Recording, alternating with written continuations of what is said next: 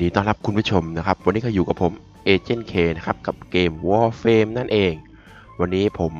มีกิจกรรมมาแนะนำคุณผู้ชมเนาะเเป็นอีเวนต์ในเกม Warframe มีเวลาให้ประมาณอีก 11 วันนะครับ วันนี้วันที่ 17 นะครับ เดือน 3 เดือนมีนานั่นเอง อีก 11 วันก็จะหมดอีเวนต์นี้แล้วนะครับมมันเป็นอีเวนต์ที่ครบรอบ 5 ปีเนาะที่เกมเปิดขึ้นมานั่นเอง เขาก็มีการแจกของนะเป็น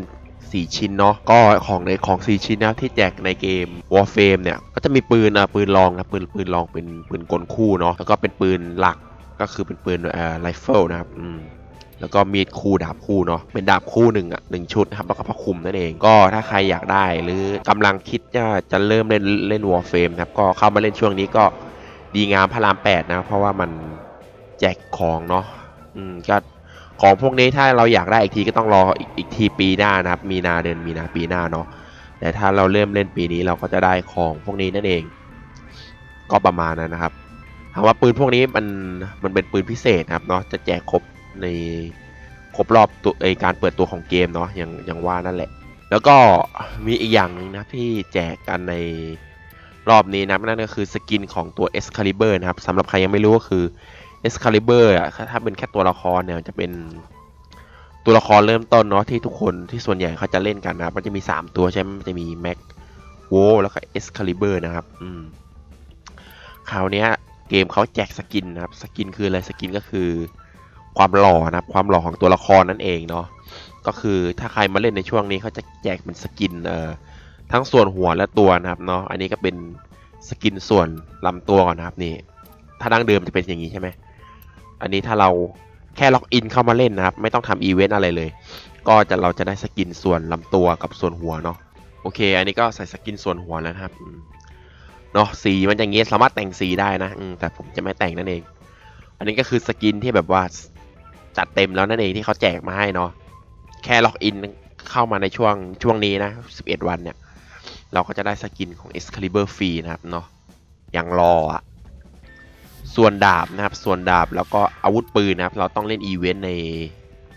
ในในในหน้าเกมเมื่อกี้เนาะที่ผมเปิดให้ดูนั่นเอง ก็หน้าตาของอาวุธนะครับ อาวุธปืนก่อนเนาะให้ดูอาวุธปืนก่อนโอเค หน้าตาของอาวุธปืนก็เอ่อปืนหลักก็จะเป็นอย่างนี้นะครับ เป็นไซเอ Dex Sybaris นะครับเนาะที่เขาแจกกันในรอบนี้นั่นเอง ก็เป็นปืนไรเฟิลชนิดหนึ่งนะครับ ก็ค่อนข้างแรงนะครับ ถ้าเราออกมาทำการบิวดีๆ แล้วก็สวยด้วยนั่นเองเนาะมีความเงางามมากเลยนั่นเอง อันนี้คืออาวุธชิ้นแรกนะครับที่เขาแจกเนาะแต่เราต้องเล่นอีเวนต์เป็นในส่วนของด่านนะเป็นด่านเอออีเวนต์ที่ว่าก็คือ interception นะครับ ก็ข้างในเป็น mission ประมาณว่า เราจะต้องเข้าไปเล่นเออป้องกันพื้นที่นะครับมี 4 จุดเนาะเราแค่เอาตัวละครอะไรไปก็ได้นะไปแค่ป้องกัน จุดจุดหนึ่งนะครับเนาะในทั้งหมด 4 จุดแล้วให้คนอื่นเข้าการจุดที่เหลือนะครับเนาะตามกำหนดเวลาที่กำหนดนะครับในเกม ก็แค่เอาแค่ผ่านนะพอมันผ่านปุ๊บเราก็จะได้รับปืนทันทีนะครับแล้วพร้อมกับช่องใส่อาวุธเนาะเราไม่ต้องซื้อช่องเพิ่มนั่นเอง ก็ได้ทั้งปืนได้ทั้งช่องนั่นเองเนาะ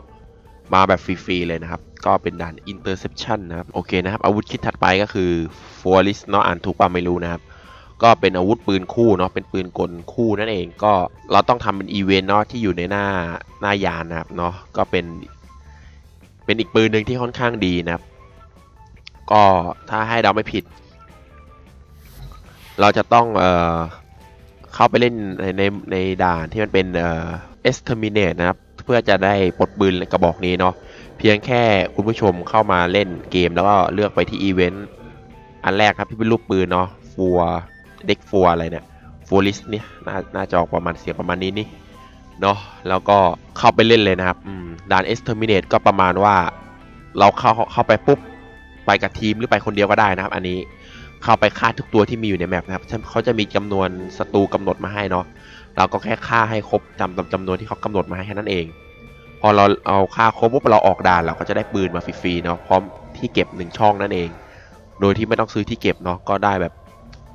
ได้มาฟรีๆเลยเนาะเงื่อนไขการทำง่ายมาก โอเค อันถัดไป โอเคนะครับ อันถัดไปที่เขาแจกก็คือเป็นดาบเนาะดาบเล่มนี้ก็เป็นดาบคู่นะครับเนาะก็ค่อนข้างสแตทค่อนข้างดีเลยทีเดียว วิธีการเล่นด่านไอ้ที่ปลดดาบก็คือเล่นด่าน S Rescue นะครับ วิธีการเล่นก็คือ มันจะมีตัวประกันเนาะเป็นห้องตัวประกันให้อยู่ประมาณ 3 ห้องนะครับ ให้เราไปสุ่มเปิดเนาะ ก็ถ้ามันไล่เปิดทุกห้องเลยก็ได้นะครับให้เราช่วยตัวประกันออกมานั่นเอง ก็ง่ายๆนะไม่มีอะไรก็แค่ไปฆ่ามอนที่อยู่ในแมปเนาะแล้วก็ไปให้ถึงจุดที่ตัวประกันอยู่ แล้วก็ช่วยตัวประกันออกมาก็จบแมปก็ได้ดาบกับช่องเก็บอาวุธเนาะหนึ่งช่องนั่นเอง ก็จะไม่ต้องเสียเออช่องอาวุธนั่นเองเนาะก็ดาบนี้ค่อนข้างแจ่มนะครับ ส่วนอันสุดท้ายก็คือเป็นอาวุธเออเป็นผ้าคลุมเนาะอันนี้ก็เดี๋ยวจะเอาให้ดูอีกทีหน้าตามันเป็นยังไงนะครับเนาะ ผ้าคลุมเนี่ยเราก็ต้องไปเล่นเอ่อด่านครับ survival เนาะเป็นโหมด survival นะครับ ในด่าน void นั่นเอง ก็ค่อนข้างง่ายอยู่เหมือนกัน แล้วก็จะปลดผ้าคลุมนะครับผ้าคลุมพวกนี้ก็เท่อยู่พอสมควรเนาะแล้วก็ลืมบอกคุณผู้ชมไปเรื่องหนึ่งเนาะสำหรับใครที่เริ่มเล่นใหม่แล้วแบบว่าเฮ้ยพี่ผมยังปลดด่านนู้นด่านนี้ไม่ได้ก็ มันยังล็อกอาจจะยังล็อกอยู่เพราะว่าด่านบางด่านคุณอาจจะยังเล่นไม่ถึงเนาะไอ้สามอันนี้อาจจะถึงแล้วมันง่ายเนาะมันเป็นด่านโลกนั่นเอง ในมิชชั่นเนี้ยอ่าเป็นวอยใช่ไหมมันมันมันอยู่ดาวเกือบหลังๆเลยเนาะกลางๆนั่นเองไม่ใช่หลังอาจจะไปไม่ถึงก็ลองติดต่อคนที่เล่นเกมนี้อยู่เนาะหรือกับคนที่คุณรู้จักที่เขาเล่นเกมนี้ แล้วปลดดาวค่อนข้างหมดแล้วถ้า ถ้าในกรณีผมก็คือเป็นผมใช่ไหมถ้าสมสมมติเพื่อนผมแบบเพิ่งเริ่มเล่นเงี้ยเฮ้ยนายนายแบบ เราไปอันนี้ไม่ได้อะไรเงี้ยให้เพื่อนพาไปอะไรเงี้ย มันก็จะได้เหมือนกันเนาะ อืมเพื่อปลด mission นั่นเอง ก็ให้เพื่อนพาไปก็ได้นะครับอืมถ้าเป็นดาววอยนะ โอเค เดี๋ยวเราจะไปดูหน้าตาผ้าคลุมกันนะครับว่าผ้าคลุมหน้าตาจะเป็นอย่างไรนั่นเอง โอเคนะครับเนี่ยครับหน้าตาผ้าคลุมที่เขาแจกถ้าเราเล่นด่านเมื่อกี้ปลดแล้วเนาะอืมเป็นด่าน survival นั่นเองก็คืออยู่ครบเวลาแล้วก็เติม life support ไปเรื่อยๆเนาะจนเวลาหมดนั่นเอง เราก็จะได้เออผ้าคลุมมานั่นเอง ทั้งหมดที่แจกนี้ก็เป็นแจกในกิจกรรมครบรอบ 5 ปีของเกมเปิดตัวเนาะก็มีทั้งหมด 4 อย่างนะที่แจกก็คือ 4 หรือ 5 อย่างนั่นแหละ 5 อย่างสิเนาะรวมสกินของ Excalibur ด้วยก็มี 1 สกิน Excalibur 2 ก็คือปืนใช่ไหมปืนหลัก ปืนรอง ดาบแล้วก็ผ้าคลุมนะครับเนาะมี 5 อย่างเลยทีเดียวสำหรับปี 2018 นี้เนาะที่เขาแจกก็อย่าลืมมาล่ากันให้ครบด้วยละกันสำหรับใครที่ อยากได้เนาะแต่ผมนิดเรียบเก็บเรียบนะครับ ของมันต้องมีนะครับเนาะโอเคก็ขอตัดจบคลิปไว้เพียงเท่านี้และกัน ก็ถ้าใครสนใจก็อย่าลืมเข้ามาเอานะครับเนาะเพราะมันเป็นแบบถ้าพลาดรอบนี้อีกทีก็รอปีหน้านะครับมาก็จะมาอีกรอบหนึ่งก็เชื่อเวลาปีหนึ่งเลยก็ค่อนข้างนานอยู่พอสมควร โอเคก็ตัดจบและกันไม่มีอะไรละ part นี้ก็ bye bye นะครับ ถ้าถูกใจคลิปนี้ก็อย่าลืมกดไลค์และแชร์